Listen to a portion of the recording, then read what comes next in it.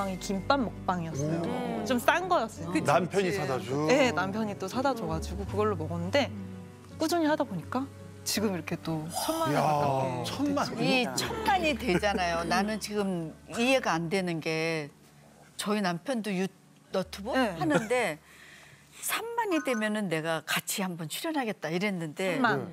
엄청 많은 거예요. 천 명 갖고 시작을 했는데 지금 그래도 거의 이제 비스듬하게 왔어요. 처음에 저 만났을 때 천 명이었거든. 근데 여기 천만이라 그러니까 이해가 안 가는 거야. 수익도 많아요? 아, 천만의 수익. 아, 궁금하다. 좋습니다. 네. 가장 중요한 거. 어마어마했지. 얼마나? 근데 이게 그렇게 궁금하세요? 네, 궁금해. 궁금해. 아니, 궁금해. 너무 궁금해. 아 근데 이게 매달 다르긴 해요. 네. 이제는 아시는 분들도 아시다시피 조회수에 따라 다르고 광고가 얼마나 들어오느냐에 따라 다른데 그러니까 비교를 하자면 제가 배우 생활을 14년간 했었다고 했잖아요. 그때 당시에 14년간 벌은 돈 다 합친 금액이 지금 한 달 수익보다 적어요. 그러니까 천만이면 잠깐만 그냥 14년 동안 얼마를 벌었냐고요.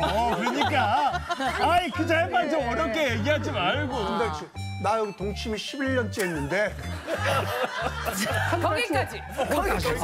거기까지.